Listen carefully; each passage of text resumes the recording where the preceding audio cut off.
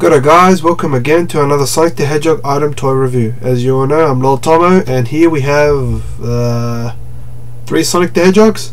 I wonder why. I guess it's because I'm a little late with the updating with one of my reviews. I had a lot of things going on during the weekend, so I couldn't really update during that time. However, I will make it up to you guys and review three separate items. Well, kind of three separate items. They're pretty much similar, but they're kind of not. Anyway, we'll put these three Sonics uh, there inside my motorbike helmet. Anyway, so we'll put these guys aside for now. We'll get to the actual item and more or less what we're going to be talking about. As I mentioned, there's going to be three actual reviews in one, which are pretty much the same. They're the Sega Sonic the Hedgehog LCD games. Here's one of them. That's a Tails. This is a Sonic the Hedgehog one, and here's another Sonic the Hedgehog one. Now they all pretty much are the same, or pretty much they're pretty much the same really. The only major difference is the actual content inside. Now, I'll review the more or less the box in one of them and then I'll get into each individual item. So I'll pick the one that's kind of my favorite really. Um, here we go. This is, as, as may mention, a Sega Sonic the Hedgehog LCD little game. Now, as you can see, it's a pretty small, small box. It's got a nice little concave sort of feel to it. So already you can tell that you have obviously the Sega Sonic logo up here. Now as I mentioned in previous reviews it's quite odd and quite interesting that in the past a lot of the Sonic items that did be I guess were made had the term Sega Sonic as to justify which is the company and which is the character. For those who are not too big fans of it, they'll probably think back in the day that's his name, but you know, obviously fans fans and they can obviously tell the difference. So as you're going to retell, the box is pretty black and white. I do actually like the actual boxing of this item to be honest. It's uh, pretty, uh, what's the word? It's unique in its own right. As we all know, like all boxes, you have a good old Tails Mario Prower giving us the good thumbs up. Pretty pretty cute character there, and you have good old Sonic. I find this Sonic a little uh, slinky, if that's a word. His legs are extremely, extremely, I guess, thin. I don't know, it just doesn't give me the vibe. Maybe, I don't know, just doesn't give me the vibe. Now, at the top you already have the title, the Sega the Hedgehog, or Sega Sonic the Hedgehog LCD. It's got some other Japanese words up here, and other various Japanese words. Not too sure what it is. At the very bottom, you got Were. I'll see if I can get that. Yep, 1991, copyrighted 1991 and 1992. Most likely these items actually came during the 1992 period when Sonic the Hedgehog 2 came out, which obviously had Tails Mario Prower. On the actual box, you ha also have little catchphrases like no speed limit and no speed limit. Like, whoa, this is mega fast. So, I'm going to show you all the contents of one box as well as various things. So, we'll go through this as uh, as best we can. At the very top, we also have just have the title. Not black and white. Now, at the bottom, just standard. On the side, obviously, exactly the same Sonic and uh, move it aside another one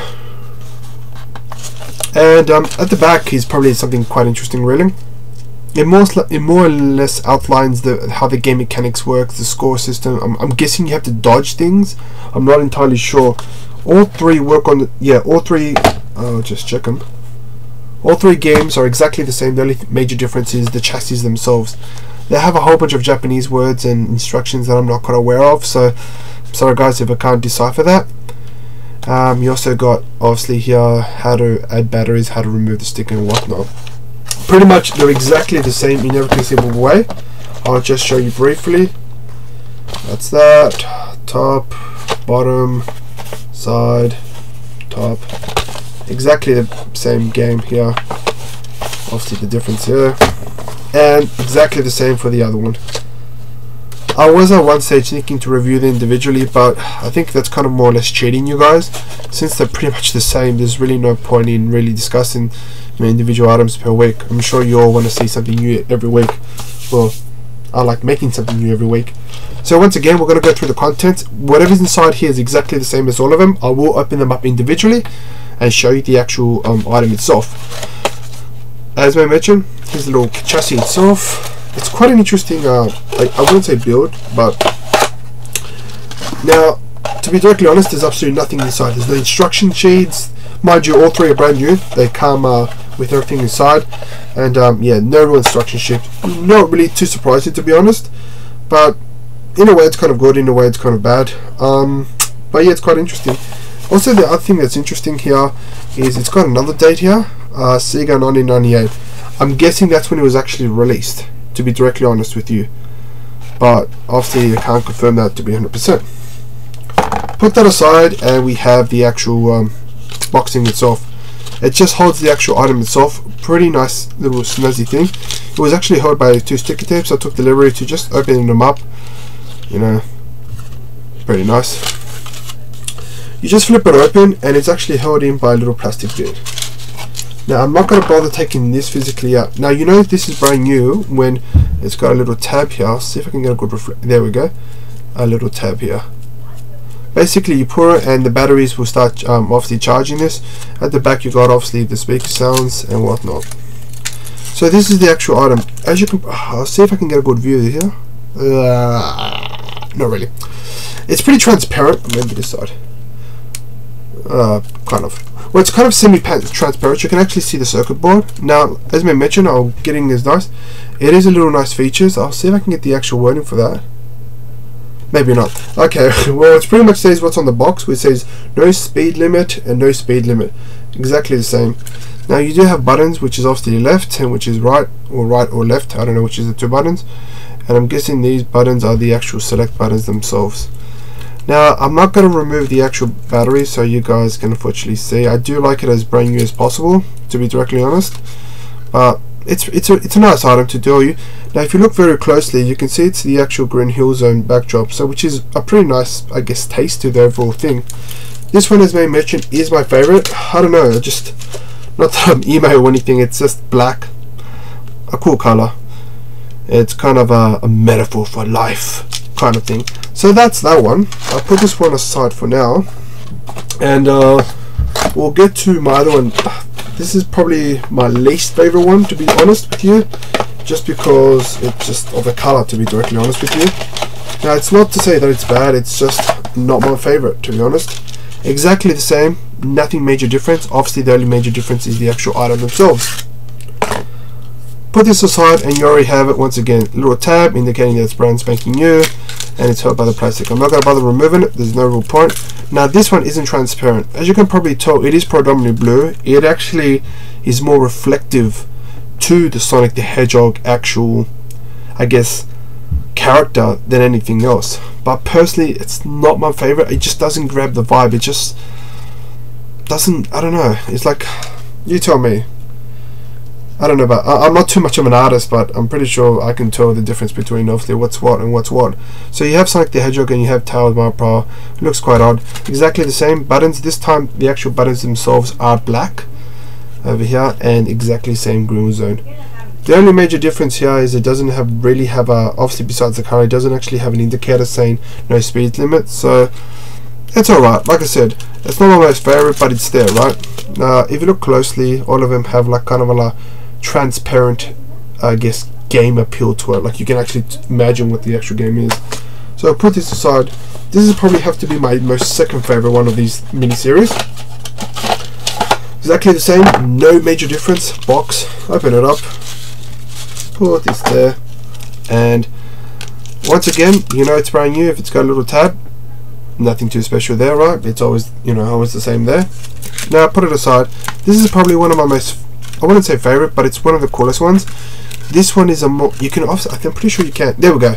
Like the black one, this is also transparent, you can see the circuitry, the circuitry, the circuits there. Nice little gimmick there. Like the first one I showed you, it's got a little sign that says no speed limits, Mario Towers Pro at the very top. Not too sure why the arrow is pointing there. I guess if your plane is basically indicating somebody else is going faster than usual. Not entirely sure. Once again, like the blue one, the buttons corresponds to that. As you can probably tell, I'll see if I can. Same buttons, same chassis. Pretty nice how they kind of added bits and pieces from each one to join the other one. Uh, I don't know if it's to save cost or anything, but it's there, right? So there's the actual buttons. Press the buttons. Uh, exactly the same. Um, like I said, unfortunately, I'm not going to actually do it. It is brand new, and I don't want to oxidate the batteries or anything. But that's that. Now, these come in a trifecta set. Uh, what about what I mean about that is they're basically in a series. Um, there are three, as you can probably tell, and they all basically have the, I would say, pros and cons. In that, you know, depending on which one you like, you you want. Now, I'll just put this aside. So obviously there's that one. Now the the rarity on these do vary from obviously device to device. Ironically enough, or interestingly enough, to be honest, the most rarest one isn't the actual Sonic the Hedgehog one at all. It's actually the Tails Mile Power, which is I quite I quite well I find that quite interesting to be honest. But in the same way, I kind of find it like okay, it does make sense. Now, obviously, fans have their likes and dislikes. Who doesn't, right? Um, obviously, people like Tails, some people like Shadows, some people like, you know, Amy Rose, some people like Big the Cat. It obviously differs from one to another. Now, as I've got to put that gently in, there we go. Now, this was more or less released in, if I'm not mistaken, in one of these, uh, obviously it's from Japan because a European market would, unfortunately, would not unfortunately call this Sega Sonic. Um, I've noticed the actual trend in Japan more more so than anything else. As to why, honestly, it's beyond me. All I know it's it's a thing they do there. I suppose I'm not too sure if that's familiarized or if that's kind of a linkage to um, any other, I guess, gaming thing over there. But I'm gonna assume it is maybe. I don't know. To each their own, right? So enough about that. Now, in terms of rarity, um, they do. Oh, be careful there. They do you know what? Uh, I'll get it like this. They do vary, of course. Um, this one would probably be, I guess, the least rare. I do see this more often. This would probably set you back maybe, or send me back roughly about $30, which is alright, nothing too expensive. This is probably the second most rarest, um, which is pretty decent. This sent me back about $45, which is a little more pricey than the first one, but it's pretty good. Now, this is the one that sent me back quite a bit. This cost me about $60. Now, when I found it, mind you, these are all mint condition, right? They obviously I opened just a box with obviously definite care, so everything else is pretty much you know awesome. But yeah, sixty dollars for one of them, it's it's you can imagine, right? That's that's probably the cost of our um, what you that's probably the cost of one of the American games, if I'm not mistaken. Here in Australia, it's a little more pricey, but American games cost thereabouts, I suppose. Now, overall, as a set, I've never seen any set. So you are probably going to increase the uh, rarity rate up there. Obviously, if you collected one, if you collected one and you're missing one, rarity goes up and down.